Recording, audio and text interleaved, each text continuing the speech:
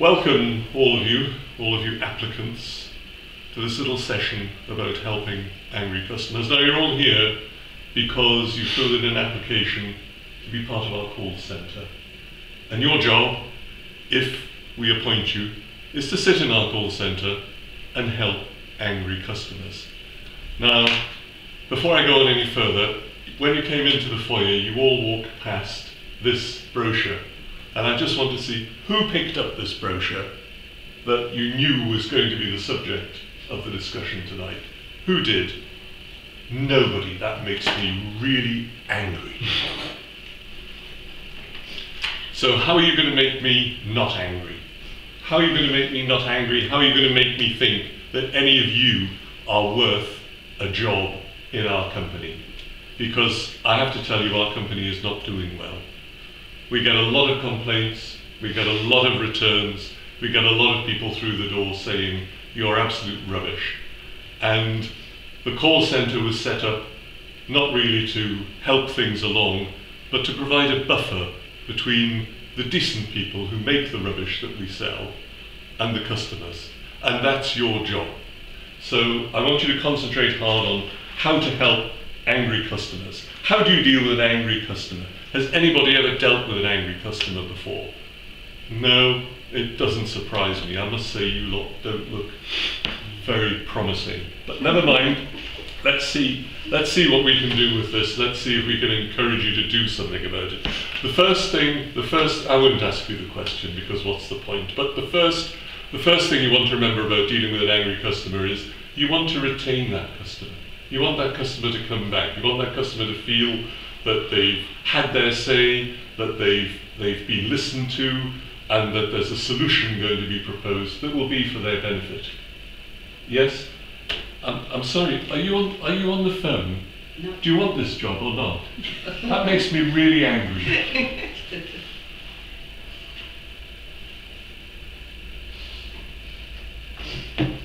I'm only kidding now. That's part of the thing, you see. So, if you were dealing with an angry customer and you hadn't been listening to the man, what, what, would, what would the problem be in trying to deal with them and make them less angry? The problem would be you hadn't listened to them. And that's the whole thing that I want to get over to you today. You've got to listen to people. You've got to, you've got to understand people. As I do, for example, as I've understood all of you sitting there hoping that you're going to get a job.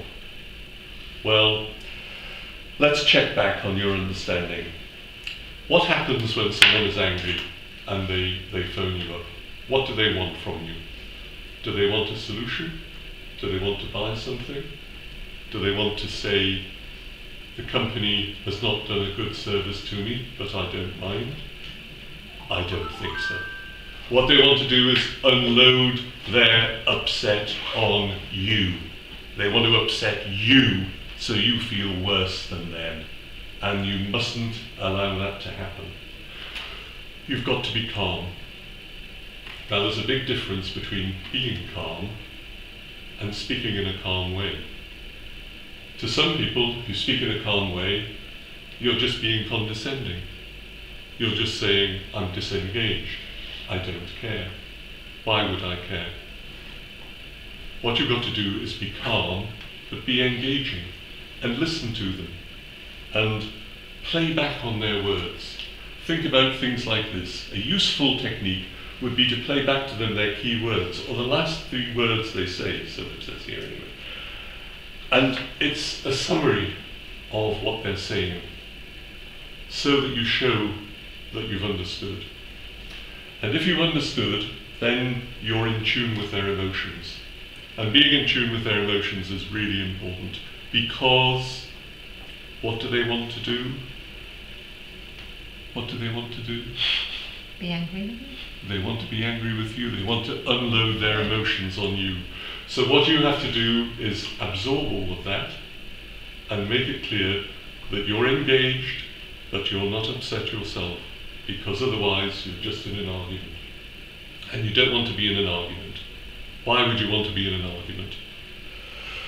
So, they want to vent their feelings on you, they want to be heard, and a simple technique is that you simply make them feel that you acknowledge how they're feeling.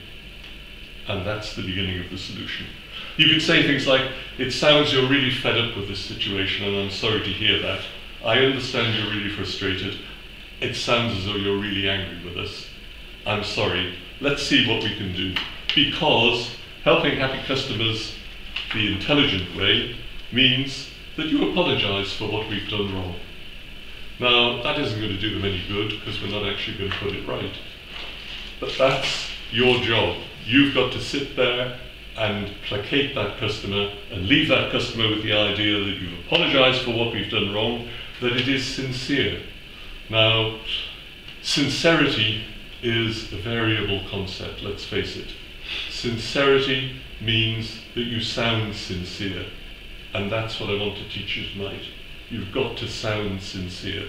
You may be absolutely choked up with the last five people who've just been on the phone to you, but it doesn't matter. You've got to be sincere. What's the key thing? Be part of the solution, not part of the problem. So, be positive. Apologize, but don't be negative. Be positive.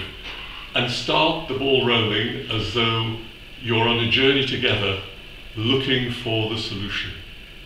And what might the solution be? They're angry, perhaps they want their money back. Your job is to make sure that they don't get their money back because we can't afford to give people their money back. What you want to do is to ensure that the whole transaction revolves around that person being satisfied with the product that we've delivered to them. Now, it may well be that the product hasn't worked, it doesn't matter. What I want you to do is to encounter that feeling that they're giving to you that there is a solution. And the solution may well be that we offer them perhaps another product, a different product, at another time. You won't have to mention, obviously, that they're going to have to pay for it. Just keep that under the carpet for the moment. So there we are. Be part of the solution. Say what you're going to do to resolve the problem. That's most important. Get to the heart of the matter be clear about what you're going to do, and if the techniques in this guide have been any use to you at all, you'll find that at the end of the day you've created a bridge. It's a bridge between you and the person that you're dealing with. And that bridge will have been effective. So the employee, he may say to you, he may say to you, what's your name? What's your employee number? I'm going to deal with you. I'm going to make a further complaint about you. Don't worry about it. Get over it. Placate them. Let it rest. Be part of the solution.